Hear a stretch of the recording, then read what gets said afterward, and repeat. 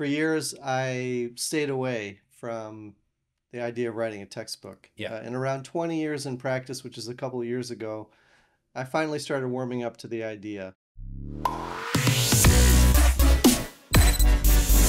Ladies and gentlemen, welcome to another episode of the Rhinoplasty podcast with me, Dr. Cameron McIntosh. It is season three. We're coming to you live from Berlin, and I have managed to drag in one of the co directors of this incredible meeting, the IMRHS meeting, uh, the top rhinoplasty societies of the world are around here. And for the second time on the podcast, I've got Sam Most with me. Sam, thank you for being here. Awesome to be here.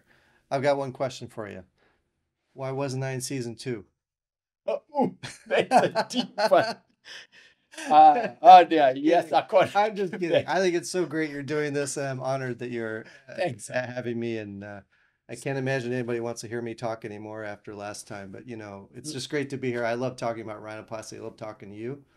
So great. whatever you want to talk about. Yeah, so I say to Sam beforehand, I say, let's talk about the evidence-based medicine group. She said, no, no, it's too too advanced. Let's just chat away. It's I didn't say it was too advanced. I said nobody wants to hear that anymore. But I'd be happy to talk about it. I think it's a great thing. Yeah. Obviously, it's close to my heart, and I think it's something we all need to think a lot. Yeah, sure. So Sam, it was uh, taking the listeners back. uh, We saw each other uh, about six months ago in South Yeah. Africa when we brought you in there, and you Wolfgang pulled out at the last minute. Unfortunately, we ended up having you to do five live surgeries in like 24 hours. Five live surgeries. Yes, yes. But we did it. We did it. Yeah. We did it. It was great. And they came out beautiful. You guys all. I mean, obviously, it was a team effort, and uh, and it was great. And Yeah. um, I'm just thankful for the opportunity. It's great to see beautiful country, Yeah. uh, beautiful people, good friends, Yeah, and uh, it was my first time there. yeah. It was a really long trip, as you remember. Yeah. By the way, this guy, I got off, I got off the plane, and he took me straight to the to a boat. and we went whale watching. Yeah. I hadn't slept in about thirty hours, and uh, and we just we just took off from there. And you know what? It was worth it. It was just just so much energy, and you you exude so much energy, you know. So it's infectious, and I just uh, made it through, and um, great society you started there. Really good Yeah, group of yeah, rhinoplasty surgeons, young and older. Yeah, we got a group So- of eight eight South Africans that come out to the meeting. Yeah, here, Yes, great, which is yeah, really amazing. yeah, that's great. So I've got a little surprise for you guys. If those of you who aren't listening, you I mean, or watching the video, I, I, I managed to sneak in a copy of this new book called Comprehensive Rhinoplasty: Structural and Preservation Concepts by Sam P. Most. So Sam, I, I mean, I know you don't like the limelight here, but this is so fascinating. I mean, you've been publishing a lot of papers, etc., but finally, you brought the book out. Yeah, So, yeah. It was. so it was tell a the big- listeners about it was a big undertaking you know for years i stayed away from the idea of writing a textbook Yeah. uh, and around 20 years in practice which is a couple of years ago i finally started warming up to the idea Yeah. uh, because i thought well it'd be nice to sort of consolidate some of the, my philosophies after two decades of rhinoplasty Yeah. listen we're all students i'm still learning yeah, yeah, yeah. uh, uh, and also because I think there was a gap in the, at least in the textbooks, uh, regarding fusing structural and preservation concepts. Yes. Uh, and so I wanted to have a comprehensive book, which Yeah. wasn't three huge volumes or something that someone could get through. Yeah, yeah. It goes through the basics, uh, structural rhinoplasty, how to approach patients, Yeah. all the way through preservation and then revision and complex case concepts. Yeah. Uh, and so, yeah, and so it sort of came together. And my philosophy was also that I wanted to be completely my voice. So all the people who wrote these chapters with me, and I wrote all these chapters, uh, are my former fellows. Wow, eh? So they all know Okay. they all know exactly how I do things. Yeah. So uh, we, we I was heavily involved in uh, either completely writing the chapter or co-writing it with them. And and it's sold through QMP. They're the publishers, eh? Yes. Yeah. Wow, eh? So I'm just Yeah. paging through this and and having a look at how many people were actually part of this. Yeah. Where did you find the time? Uh, you know, um, I've got a supportive team, a supportive group, Yeah. a loving uh, family, and I just was able to to make it happen. Yeah. I don't know. I don't know where the time comes from. You know, it's really daunting these tasks when you put them in front of you. Uh, Yes. but then you split them down into small steps for Yeah. anything, as you know. Yeah, yeah. Uh, and you just take one step at a time, and you measure your progress, and eventually you get to the end. So tell me a bit more about this stuff. What what were the highlights and what were the lowlights in getting this book together? The I was super excited. One of the highlights was just deciding to take the plunge. Yes. You know, the the the tough parts are when you're in the in the meat of it and you're just trying to get things done. And then at the end, editing and finally putting it together. Um, organizing the artwork was a big task. yeah. We have a wonderful artist, Chris Gralapp, who uh, did all this artwork Yeah, yeah. Um, I've worked with her for many years, uh, and this is the first big project we did where we did an entire textbook. She did all the um, illustrations in my lectures and in my, uh, my publications and journals.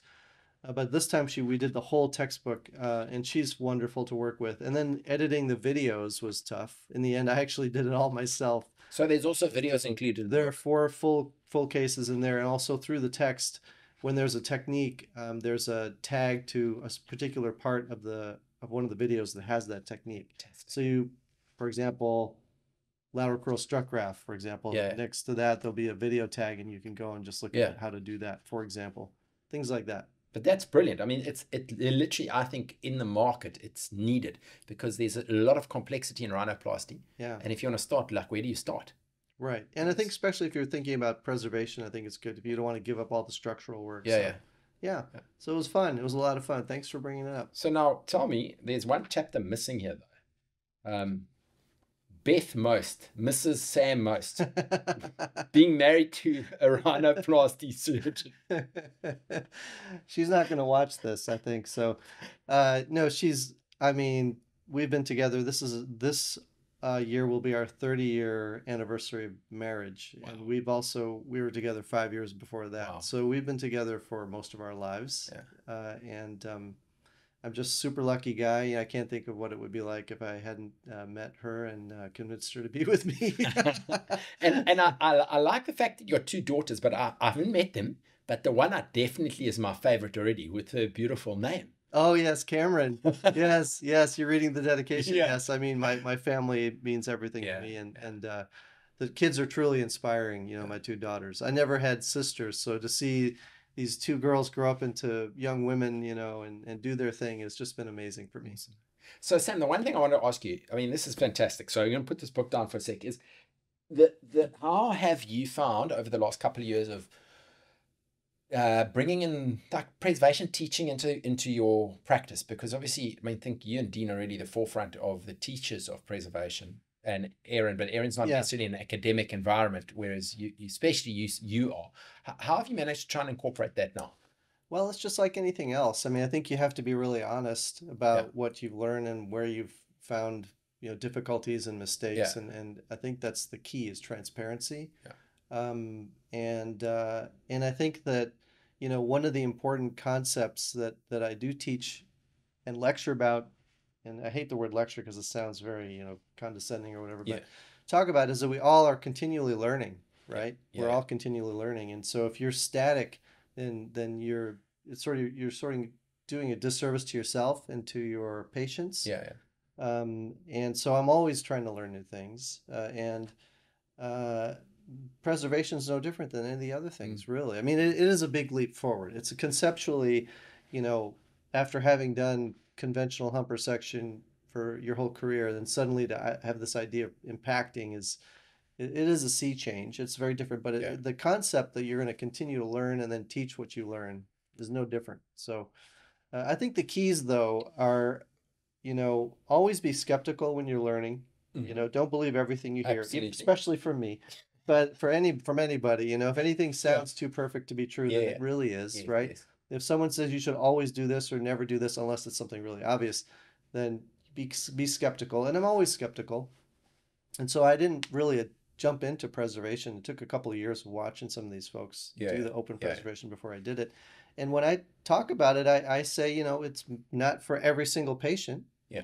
Um, I think that preservation is now a term that can be applied to anything where you're preserving the cartilaginous vault and even somewhere you're partially destroying it. And so there's a whole spectrum of different procedures. It's not a binary decision between complete resection and complete preservation. There's Absolutely. all these different things in between, right? So that's really exciting. And that's another thing I try to say is it's not a binary decision. You you have a lot of different ways Yeah, of yeah. treating the dorsum now.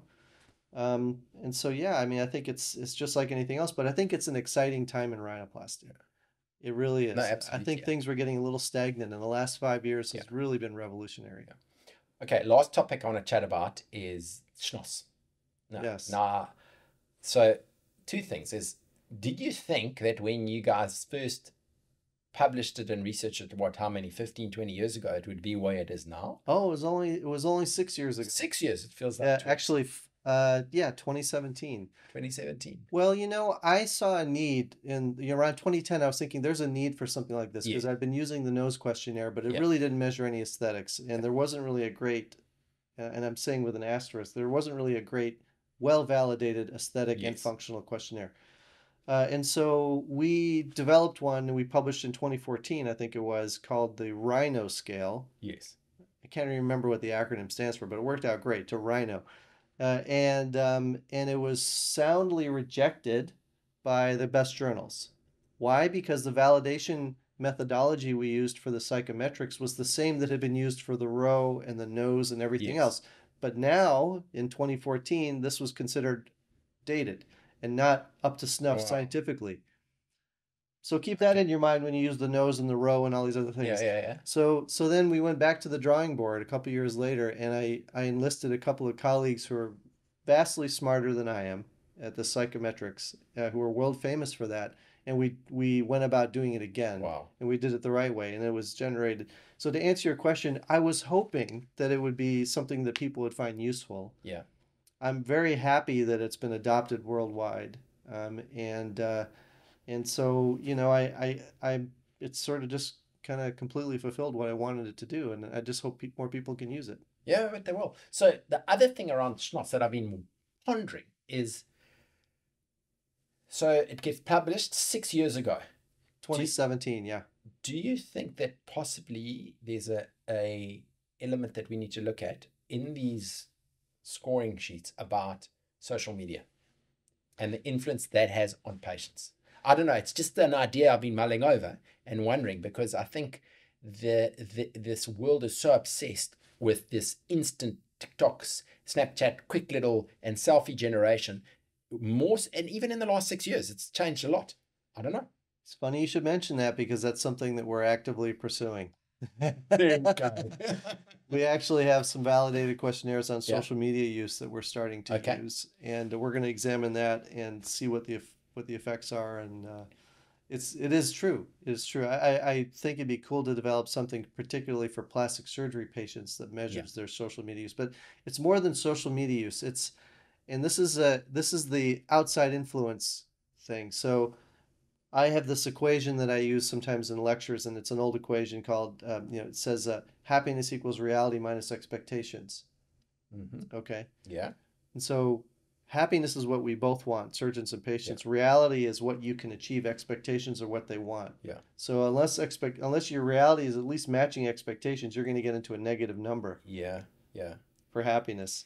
So, Yeah. but expectations then, this is my my original thought. I broke it down into a, a complex equation that is the sum of the number of people who influence that person. Okay? yeah. So this is a sigma n whatever it is. Yeah. And then the lambda is the influence level of that. So if there are 10 Okay. people who influence them, but they're the lambda's a zero, then there's no no no influence on the Okay. expectations. But some people, no matter what they think, they're so insecure. Everything is about what other people think about them. Yes. Uh, and this is like social media users to a certain extent. Yes. They want likes, they want so on, or they, you know, if they're very happy with their nose, but they go home and their husband says, it's ugly, I don't like it. I've had this happen. They're happy at three months, four months, but then they meet some new boyfriend who says he doesn't like it or something. And then suddenly, so the influence of other people is something you really want to measure, not just Yeah. social media. So if there's some way we could measure that, uh, that would That be really be cool. Very interesting. That would be very cool. And I think that that would, you know, that goes kind of along with nasal self-esteem, which is question five on the uh, questionnaire. Yeah. You know, how much is your, how much of your self-worth is tied up in your nasal appearance, your esteem?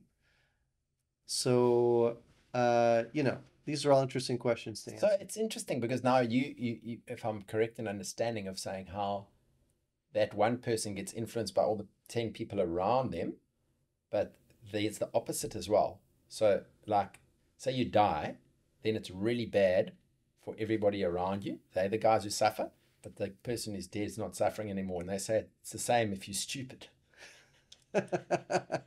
it's really bad for you. Are you saying something about me now? those those the, there can be the negative vibe coming Yeah. out from from dare I say the patient as well, causing Well, I mean, external influence on your happiness is not really healthy, right? So it can work for you as a doctor if you do a bad job and everybody tells the patient that it looks good.